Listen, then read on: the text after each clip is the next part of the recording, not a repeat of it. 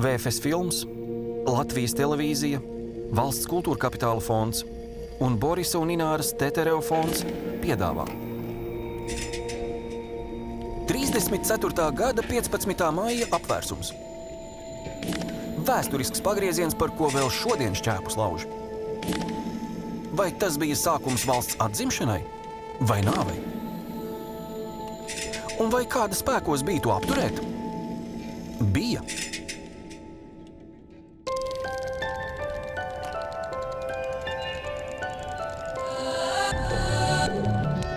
bijis, nekad nebūs noslēdzies. Pat zināmais pārsteidz, ja uz to citādi paskaties.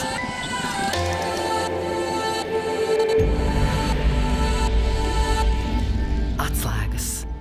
Gadsimta vēstures atradumi. Apvērsuma atslēgas figūra, protams, bija Kārlis Ulmanis, ministru un vēlāk pašpasludinātais valsts prezidents. Taču bija kāds vīrs, kura pienākums būtu pagriezt atslēgu uz citu pusi. Viņš to bija zvērējis tautai. Es ceru, ka viss mans darbs būs veltīts Latvijas tautas labumam. Es darīšu visu, kas stāvēs manos spēkos, lai sekmētu Latvijas valsts un tās tautas labklājību. Tu esi svēts, ka Latvijas valstī. Pret visiem es izturēšos taisni, savus pienākumus izpildīšu pēc labākās sirdsapziņas. Valsts pirmā persona tolaik bija Alberts Kviesis, sens Ulmaņa partijas biedrs. Lai kā vērtētu apvērsumu iemeslus un efektu, no likuma viedokļa tam nebija nekāda attaisnojuma. Tas bija smags valsts noziegums. Sodu likums par dumpi paredzēja pat mūža ieslodzījumu.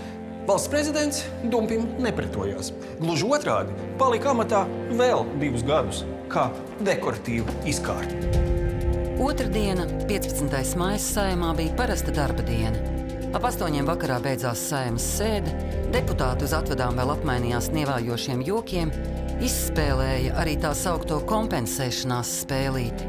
Tā bija ierasts, kad kāds pozīcijas pārstāvs gāja ārā no saimas nama, to pašu lūdz darīt arī kādam no opozīcijas. To, ka reizē izgāja pats Ulmanis un saimas priekšsēdis sociāldemokrāts Pauls Kalniņš. Tikai retais deputāts apjauta, ka šeit nekad vairs neatgriezīsies, un ka jau pēc dažām stundām Ulmans Kalniņu arestēs. Apvērsums bija ierasts politiķu jociņu temats. Ulmaņa diktatoriskās noslēdzes bija sen zināmas. Jānis Čakste to dēļ pat izstājās no Zemnieku savienības.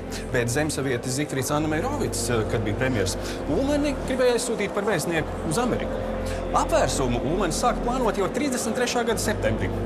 Bet tad, kā liels pārsteigums, nāca Igaunijas piemērs.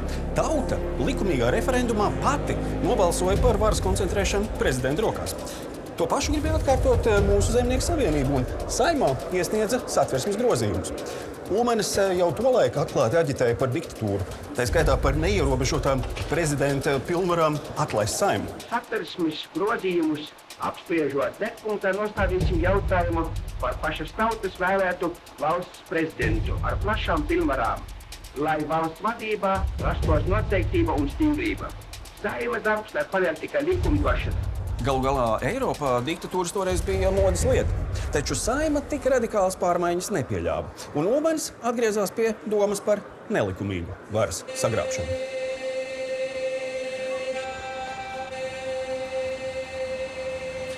Tieši tāpēc 34. gada februārī zemsavieši gāza iepriekšējo premjera Adolfa Bļodnieku valdību un panāca uzticību savējai ar Ulmani kā ministru prezidentu. Valdības ēka, kurā pats premjeras arī dzīvoja, kļuva par apvērsuma slepenās plānošanas štābu. 15. māja vakarā Ulmanis pat taisno no saimas uz šejienu arī devās.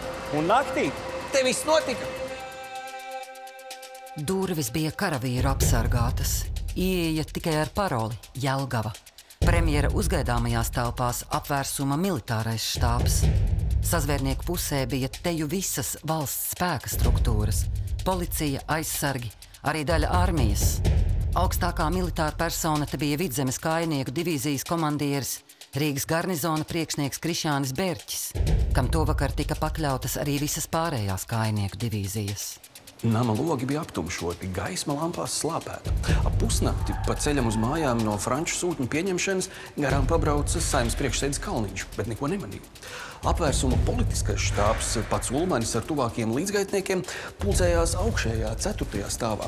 Premjera desmit istabu dzīvokļa ēdamzālē ar logiem uz mazo vingrotāju ielī. Žurnāliste no Zemsaviešu avīzes stenografēja paziņojumu par karstāvokli. Ulmanis un kara ministrs Jānis Balodis parakstīja uzsaukumu tautai. Ulmans bija pacilāts, balodis, drūms un uzvilcies, un savu pārakstu deva tikai pārējo iedrošināts. Apvērsums norisa strauji un pēc plāna. Naktī ieņēma virkni valsts iestāžu, saimu slēdza, satversmi apturēja, likumdevēja varu uzurpēja Ulmaņa valdība. Aizliedza visas partijas, lielu daļu biedrību un avīžu. Ar laiku likvidēja teju visas vēlētās pašvaldības, atlaida tūkstošiem ierēdņu, apcietināja ap tūkstoti opozicionāru. Ulmans aizbildinājās ar briestošo sociāldemokrātu dumpi. Tā nebija taisnība. Sociķi neko neplānoja. Plašie aresti bija nevis sacelšanās draudu, bet gan politiskās opozīcijas draudu likvidēšana. Tieši cīņa par varu bija galvenais apvērsuma iemesls. Ulmaņa partijai klājās ar vien švakāk. Vietu skaits saimā ar katrām vēlēšanām saruka. Pats Ulmanis pēdējā saimā nevienā no apgabaliem netika ievēlēts ar izlikto pirmo numuru. Un jau 34. gada rudenī bija jābūt jaunām vēlēšanām. Pēc tam Ulmanim būtu ļoti maz cerību kļūt par valsts prezidentu. Ironiski, ka viņa diktatūra bija te vienīgā Eiropā, kas nesaglabāja pat iluzorus demokrātijas attribūtus - ne parlamentu, ne partiju sistēmu. Izņemot vienu, visnekaitīgāko - atlaistās saimas ieceltu valsts prezidentu. 16. maija agrā rītā jaunais vadonis ieradās Rīgas pilī pie prezidenta Kvieša, ziņot par naktī sastrādāto. Ir ticams, ka Kviesis par apvērsumu netika brīdināts. Taču vismaz tagad būtu bijis īstais brīdis viņam iejaukties. Pats atversmē paredzētās visnotaļ šaurās prezidenta pilnvaras deva vairākas iespējas. Pirmkārt, prezidents ir bruņoto spēku augstākais pavēlnieks. Ulmanis apvērsumu rīkoja ar armijas palīdzību, taču apgāja divas galvenās armijas amatpersonas - komandieri Mārtiņu Pēniķu un štābu priekšnieku Mārtiņu Hartmani. Kviesis ar viņiem nesazinājās.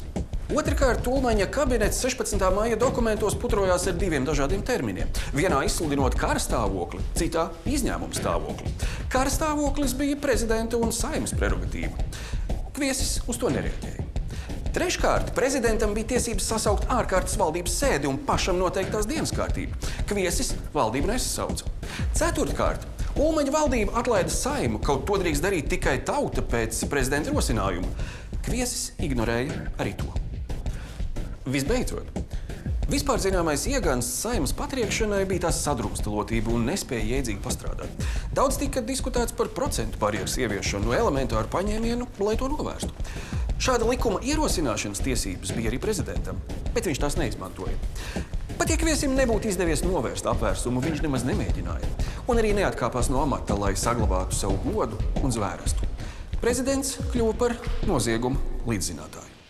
Esmu pārliecināts, ka netālā nākotnē atradīs īsto ceļu, kā novest atkal tautas, līdz ar to mūsu dārgo Latviju pie vispārējas labklājības. Atlikušos divus gadus līdz pilnvaru beigām Kviesis pavadīja vadoņa ēnā, un valsts darbos iejaucās vēl mazāk nekā pirms tam. Visā prezidentūras laikā viņš nereizi neatgrieza saimai kādu likumu, arī pats nevienu neierosināja un pat nesasauca nevienu valdības sēdi. Ārvalstu vizītēs devās reti, toties ar prieku uzstājās dziesmu svētkos un nenozīmīgos lauku sarīkojumos. Presē izrādīja savus lauku mājas un sūkstījās par strazdiem, kas noēd ķiršus. 35. gada 18. novembrī vēl atklāja brīvības pieminekli, protams, ar Ulmanu piesāniem. Tāds kviesis bija visu politiķu karjeru lielajiem pie sāniem. It kā aktīvs jau no valsts dibināšanas, visu parlamentu deputāts, daudz strādājis pie zemes reformas un tiesu likumiem, bet kā līderis - blāva pelēcība. Kompromisa prezidents.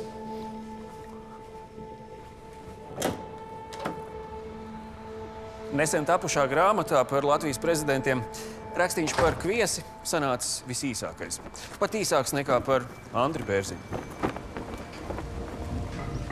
Kad 36. gada pavasarī kviešu prezidēšana tuvojās beigām, viņš kādu brīdi vēl stīvējās. Ja jau satversme nav spēkā, nav spēkā arī ierobežojums prezidentūras termiņam. Naivais. Kviesim pašam nācās parakstīt Ulmaņa diktētu likumu. Valsts prezidenta amatu izpilda ministru prezidents Dr. Kārlis Ulmans. Tieši tā, likumā ierakstot pat vadoņu vārdu.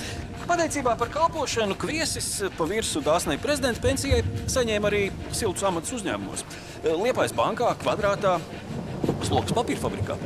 Sloks fabrika kopš tā laika ir pamatīgi mainījusies, bet eh, politikas desu fabrika neko daudz. No padomju okupantu represijām kviesis izspruka. 14. jūnija deportāciju nakti ar ģimeni pārlaida mežā kādā mežsarga mājā. Taču pie nacistu varas iebrida pavisam dziļā maldu meža staignājā. Vispirms kļuva par advokātu padomas priekšnieku, vēlāk par Ostlandes, Latvijas ģenerāla apgabala zemes pašpārvaldes tieslietu ģenerāldirektoru. Varas vertikālē zem Fīrera. Tā sauktā pašpārvalde bija nacistu izveidota iluzora, it kā vietējo amatpersonu iestāde. Kad patiesībā tā neko nelēma, vien izpildīja otršķirīgus Reichskomisariātu un okupēto austrumu apgabalu ministrijas uzdevumus. Vēl viens izkārtnes amats kviešu karjerā, vai tā nav mugurkaula diagnoze? Viņš bija vienīgais no brīvās Latvijas pirmā līmeņa valsts vīriem, kas atklāti kalpoja nacismam. Liela daļa citu politiķu bija apvienojušies pagrīdes Latvijas centrālajā padomē un cīnījās par valsts atjaunošanu. Viņu vidū arī saimnes ekspriekšsēdis Kalniņš, ko Ulmaņa režīms apsaukāja par pretvalstisku elementu. 44. gada vasarā, kad jau tuvojās krievi un nacistu dienas bija skaitītas, kviesis no augstā amata atteicās. 9. augustā ar ģimeni kāpa uz bēgļu kuģa. Tepat Daugamalā iepratī savas agrākās rezidences logiem. Kuģis vēl nebija ticis jūrā, kad Alberts Kviesis ar sirdstrieku mīra. Neaizbēga. Kā iespējams, ka tie paši politiķi, kas savām tautām izcīnījuši neatkarību un demokrātiju, vēlāk to novārda? Vēsturnieks Aivars Strānga tādus sauc par sezonas demokrātiem. Viņiem galvenais ir būšana pie varas, bet demokrātija vien līdzeklis, nevis pārliecība. Ja demokrātija varu vairs nedod, to var upurēt. Tāds bija gan neizsakāms spilgtais uh, Kārlis Ulmanis, gan žēlīgi blāvā viņa ēna Alberts Kviesis. Bet ne jau velti mūsu valstī šie karogi plīv līdzās. Ja kāds apgāna vienu, otram būtu par to jāiestājas. Ir apnikuši Pelau prezidenti.